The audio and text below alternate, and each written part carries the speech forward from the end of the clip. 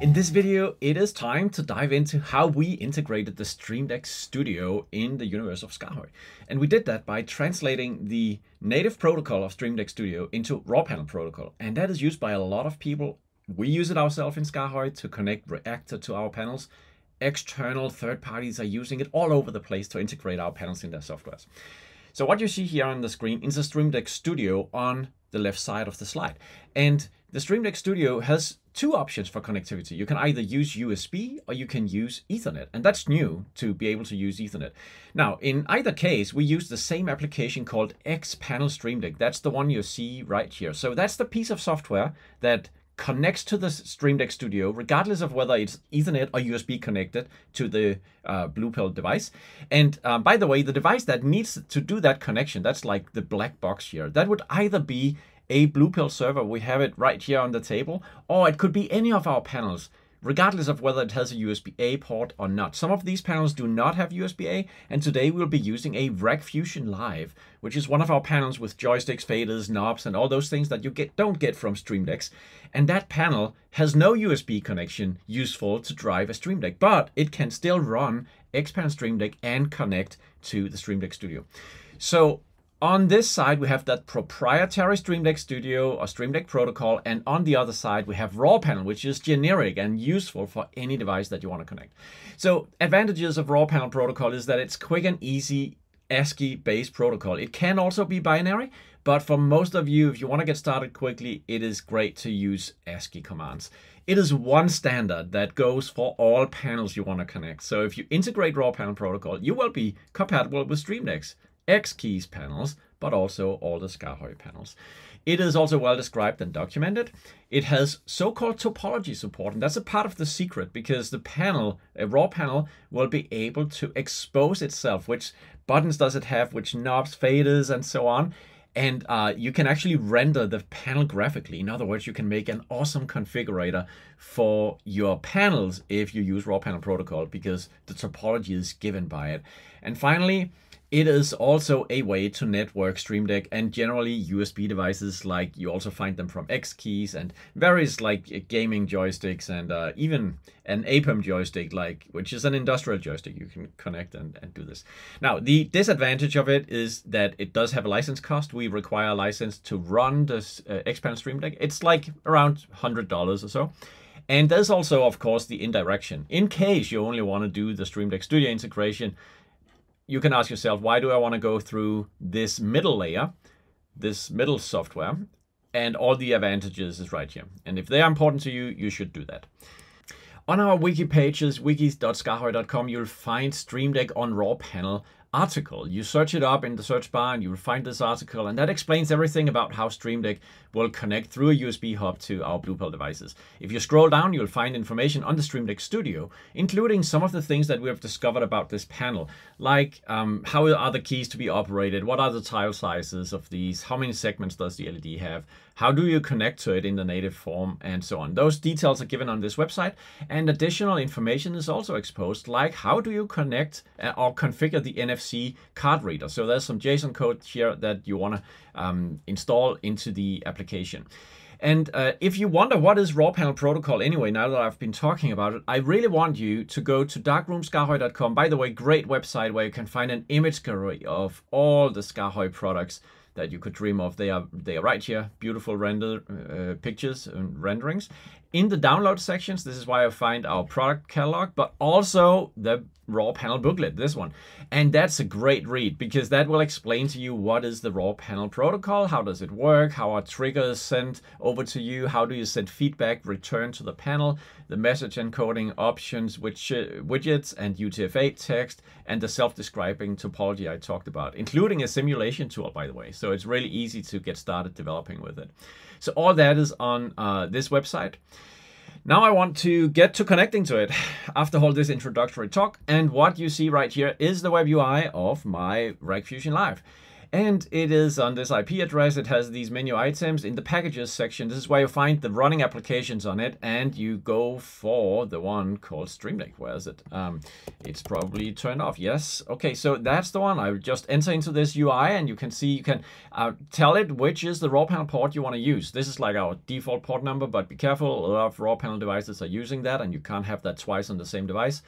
So uh, you may choose something else, but anyway, it's, it's a good starting point. Uh, then we can scroll down. You, you, find some options like how many clients do you want to allow connecting, um, which IPs do you want to limit connections to, and that can be interesting when you have panels where you want to limit which IPs are allowed to connect to it. It's like soft security. Then we have something called LED mode. I'll get back to that uh, later. Um, a large text might be useful, especially on the Stream Deck Studio, because it has a high resolution display and it's um, in many cases not useful for the type of text that we render on it. And then finally here, the Stream Decks on IP, which is a section where you set up your Stream Deck Studio, you activate it, you type in its IP address, you tell it which server port do you want to use for its raw panel uh, exposed interface, and then finally the uh, LED mode. Let's just uh, set that to, to not set. We want to enable the whole thing here, which it would be if I just start the application. So let's just save and restart this config, and you'll see immediately the panel is actually like uh, initializing with a SKAARHOJ animation that is cool. And now it's actually um, ready for connections. So if you read that raw panel um, booklet, you will notice that you can use a um, so-called telnet or it's a TCP connection. And there are various tools. You have a PuTTY on Windows, you have a um, Telnet on, on Linux uh, terminals. On Mac, we call it NC Netcat. And uh, I'll simply type in the IP address that you find in the display of it. Uh, it says .8, and then you uh, the, the port number was uh, 9923. Uh, okay, so I'm actually connected to it. I type in list, that's like an initialization command you send to it, and it will tell you, hey, I'm a Stream Deck Studio. I have this serial number. I have these features you can use, and it blanks out. But see what happens when I press the buttons on it, I get really simple triggers. That's what I mean, that's the ASCII mode. You don't get anything close to that if you connect straight up to it. No, what was that? By the way, that uh, that port number. We could uh, just try out. Okay, so that's the port number here. Um, let's quickly try that. Okay, so basically, mm, of course, I need to connect it to the right IP address. So now I'm actually connected to the Stream Deck and it's sending me over binary stuff, but it will disconnect because there's a keep alive that it requires. But if I press buttons, you can see I've received something, but it's not visible because this is binary data and that is what we solve for you using the raw panel protocol. Okay, let's just quickly get back to that. So we'll connect back to our panel here and uh, initialize. And so buttons is one thing. I can also rotate on the encoders. I can click the encoders and all those things are documented in our raw panel protocol documentation. But we also have some pretty awesome tools that will help you to expose the and play with these things, by the way. So just keep this format in mind because that will be, um, no, wait, actually what I want to show you is that I can turn on like the LED of uh, the first one. So in our universe, we will uh, operate with uh, the concept of an LED. This command will actually turn on the first button. And that LED I was talking about is like the, the bar in the top. We'll see that as I'm putting content over to it. So over here, I have a browsing tool. It's called Raw Panel Explorer, and that tool can be downloaded from our GitHub repository. I'll invite you to do that. The cool thing is that it scans the network. It finds all the raw panel devices that announces itself on the network. And one of those is our Stream Deck Studio right here. So if I connect to it, whoa, that just brings up the topology. And that topology is, as I said, delivered by the panel. The panel tells this application, this is how I look, this is the buttons I have and so on. So we have essentially made it very, very easy for you to make that configurator. Now, let me press that button and you see it is responding actually with indications on this graphic that those buttons were pressed. I can do the same over here for the encoder. And here we have an event scope and that event scope will basically tell you, okay, press down, press up. So it's like a square pulse. And if I turn those encoders around, you can see that it is sending plus and minus pulses. I can also press the encoder down, etc. Can I put content back into the panel? Because that's kind of more the tricky thing, right? Actually, yes. So I will basically just select one of them and then I can press on. And now it turns on. I can also set other fixed colors. These are legacy functions. So I would propose you use on We also have something called dimmed, and if you use that, you see it kind of dims out a little bit. And then you have off, which is, it's just black, okay? So I turn it on, I change the color to red, you now have a red bar in the top and so on. What about text? You can also put in text. You can put a title, you can also put in in the text field here, hello, and then you, you now see text rendered on it, and then you could put in world, you have a second text line, it sort of adapts all these things, and it shows nicely in the display, as you can see right now. So uh, that's what you can do with Raw Panel Explorer. And of course, it's only fun if you could convert this into something you could use in your applications. And that is shown down here because we were so smart to tell you what are the commands that gave these results. And that's exactly what you see right here. The command to set the text in the most basic form would be this one. And the number one right there is the button you want to send it to. So this is how you set a title. This is how you set text line one, text line two, and have uh, it look like it does right there. But you can also use this JSON code instead. And that is for many of you guys probably much more convenient. And finally, you can also use the bi binary protobuf encoded message format for which we also provide free um, definitions for protobuffer messages, if you know what that is. And uh, but if you do, you know that you want it. If you don't, then you probably know that JSON is sufficient for for your um, experiments and your application integrations. All right, so we did that. So what about the encoders? Can I light up an encoder? So I click it and uh, can I turn it on? Yes, you can. Now you have light in the encoder. Can I change the color? Yes, you can also do that. But most interestingly, what about the LED ring behind the encoder? Can I control that? Yes, you can. And you simply need to choose one of these modes. The most fun mode we could choose for this would be VU meter. Actually, I want to do it on both because that's sort of nice. Okay, so VU meter and I run a demo. And now you see those two displays actually becoming VU meters. So I'm sending over a, a mode of data where an integer from like 1 to plus 1000 is like the, the values that will make the VU meter uh, light up and you see it um, right here in action in a, in a demo mode. I want to stop it now again because um, yeah, that's great if you want to do audio applications, right? If you uh, go to the steps mode, it means that both of these, and now they, they will be synchronous because I think I selected both of them. So if I set it to one step, you see the first LED turns on. If I set it to two steps, then the second turns on, the, the, the third uh, turns on like this, and fourth and so on. Can I also set the color? Yes, you can. You can choose the color of the LED by simply picking the color up here in uh, any of these. And you can also have a color picker come up if you, if you want like any RGB color. You can just set it as an RGB color. So I've chosen something uh, bluish. If you go to the strength mode, which is another one that is really useful, then you basically get an indication, which is, um, yeah, you'll see exactly what I mean. If I type in 500, you see that halfway now the, the LED bar lights up halfway. Full range would be 1000 and nothing would be, you know, one. And if I type in 100, I'll probably get one or two LEDs. 150 would probably give me two, etc. Those numbers of LEDs are actually adjustable because there are 24 LEDs, but I have only given you 13 here. And I've offset them a little bit because the standard LED that it starts out with is the one in the top. And all that can be configured quite nicely within our configuration uh, in the blue pill. Let me just quickly see. I need to go to the Rack Fusion Live, yes. And inside this deep config field, you see the value 13. Now let's expand that to maybe 17 just to be um, yeah 17 okay let's, let's just do that save and you'll see that as it's now uh, reinitializing we can go back to the raw panel explorer in a moment as it's uh, becoming ready for us. And there we go. Okay, now you, you already see the 17 LEDs, but uh, you just saw it briefly right there uh, as it, and I can also like go full throttle and you'll now see the same thing again. Now, um, but it's kind of offset and that offset is exactly what I was able to change in this VL. So I'll just make that minus nine and it goes back. Okay, so um, I want you to notice one thing. As it is rebooting, you can see here that if you go down in this in the topology, the topology for LED 1 and 2 was set to 17 steps. But now, as it reconnects to the panel, it has... Ah, it has not connected it. Oh, sorry. It doesn't tell you where it starts. The offset was what I changed. And by the way, the offset is now changed so that we have like a symmetrical display of the LED ring around the encoder. But my, my point was that you can probably easily imagine that further, uh, you know, before when it was 13 steps, it would say this LED ring has 13 steps. And that's exactly what the topology is.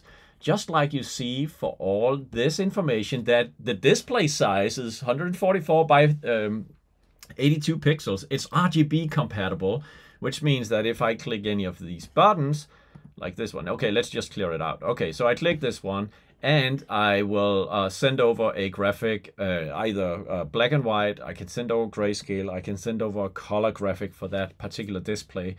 Again, as a text, and by the way, you see down here, uh, this is the ASCII format. It's ridiculous, right? So it's just line and lines and lines and lines and lines of base 64 encoded stuff you want to use JSON for that, right? But this is kind of provided for legacy reasons. And finally, binary protobuf is a world of its own, super useful if you're into that. But um, it's basically base 64 encoded image data. Um, there are formats of how to do that. And by the way, we can also send over PNG data and, and, and have it automatically scaled on the panel. That is called a processor, and you can read more about that in our awesome raw panel booklet right there. Okay, going back to this one. Uh, let's try out um, a configuration option that um, would also be quite interesting for you for you to consider. The one called large text right now is actually what renders the text fairly large when you see the, the display. And I like that a lot because these displays are super, super high resolution. So if I, let me say, just uh, clear out everything here, then um, let's type in some text. Oh, sorry. And um, just type that in. So it's it's nice and clear to read what is in the display right now. If you go in here and sorry, I need to be on the right one. Okay, and I disable large text, then it will actually become much smaller. But um, so that's one thing that we want to observe. Another thing is the LED mode. By default, it's set to bar. That's what you see right now. You can also set it to background or you can set it to none. If you set it to none, it means that the whole display will just become like like one big graphic where you can, if, if you set the color of the button, it won't matter and it is even being told to you on the raw panel protocol. So just notice what happens here as it has now updated itself. Um, the Actually, this is the native pixel resolution of the display tiles that is reported now. That It is reported that it has no RGB output, so you can't set a color. It won't matter if I if I click any of these and press out, you see nothing on the unit because all I can do is to send over like a graphic in some sort and um, and I can type in text. And now you will see exactly what I mean because that text line is kind of small, right? Compared to what it was a moment ago. So um, that's a little bit uh, tricky. Let's just quickly go over here and choose a different LED mode, one that I find quite interesting, background, because it resembles a little bit what you have seen in other cases, namely that we put the color in the background behind what is often black and white graphics anyway. And when doing so, then you'll see the uh, panel as it boots up. And when we uh, also have the topology updated here, you'll see that this actually comes back. It is now RGB colored LEDs again. So I can pick this one. I can set a background color. Now it's painting the whole button. And I can also put in text and graphics. So here is again my hello world coming up. All right and I can put in my title up here and I can make it a solid header bar if I want and so on. So this is really nice. We have a great script for kind of um, exploring the capabilities of panels. This is mostly for fun demo and so on. Uh, I'll open it now over in Visual Studio Code and if I run it, like this, connecting to the panel, you'll see that as I'm pressing here, I actually get triggers over reported um, from, you know, in, in this console. Um, so it does the same as connecting with Netcat uh, as I did a moment ago. But after like five seconds of uh, idle time, it will start rotating content on the connected panel. The, it would do the same for my uh, Fusion Live over here in the background. But right now you can sort of see just a mix of backgrounds and sample text and uh, sample images put onto these buttons. So it sort of demonstrates the capabilities of, uh, of the product. Uh, it is also downloadable from our GitHub uh, repo. And let me see, where are those? Um, did I bring those up somewhere? Now I seem to have dark room all over the place here, but you can definitely, let's use Firefox. Uh, you can go to SKAARHOJ online and find raw panel utils. There you find color display button test script, and that is kind of nice for testing raw panel devices, seeing the capabilities of them. But you definitely need the uh, raw panel explorer. Uh, maybe let's try searching for that. So SKAARHOJ repositories, raw panel explorer. Do we see it anything anywhere here? Raw, raw panel. Ah, not PAW but raw okay you have raw panel explorer right here and you have uh, releases so you can download this for mac um, windows and linux and uh, run it locally on your machine final thing i want to show you is how we can use the nfc reader on the product and we did it in a, a quite simple way you actually see two hardware components right here with IDs 100, 101, and it would continue to 102, etc. if we added more user groups. So we have made a concept where there's user groups, and then you can have NFC tags like these added to a user group. So I added an admin and a user user group. And how to set that up? That's shown on the wiki page. This is the majority of the JSON code that I was showing to you for configuration. Namely, how would you structure data that sets up an admin and a user user group, and how would you add in the card numbers and the description of what these would be. It works like you see on this page. So you basically copy this, copy it, uh, edit it somewhere. You can add more objects to it, and then you would paste it in on your blue pill device. So if you go to your blue pill device and you find this field called deep config, you just paste it in right there, and then you can um, expect this to uh, identify your, your objects, your NFC cards. But uh, how do you know the code of the NFC cards? You can simply just put it over on the panel and it will show you that it found this travel card, has this ID. Here is my key fob it has this ID. And it tells you that in the log files, you'll have to copy that over. So right now, we don't have a fancy UI to let you do this in a, like, hey, record my NFC card, add it to a group. That might come one day, but for now, we just did quick and dirty, adding it into a JSON structure that will stay, but we also expect to have a nice UI for, for it later.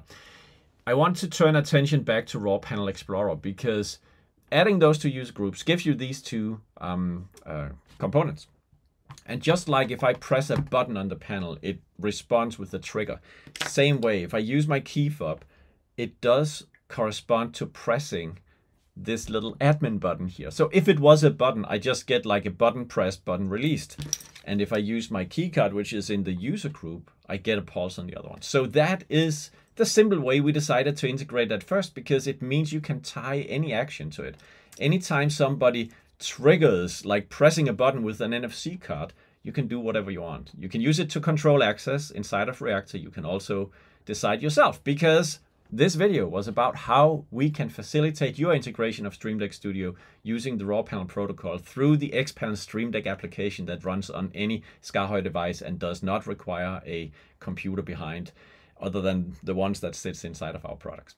I hope this was useful to you. Reach out if you have any questions about raw panel protocol. It is becoming more and more popular with a lot of third-party vendors of uh, software solutions and hardware to use SKAARHOJ panels in this way. And of course, now you can also do it with Stream Deck Studio.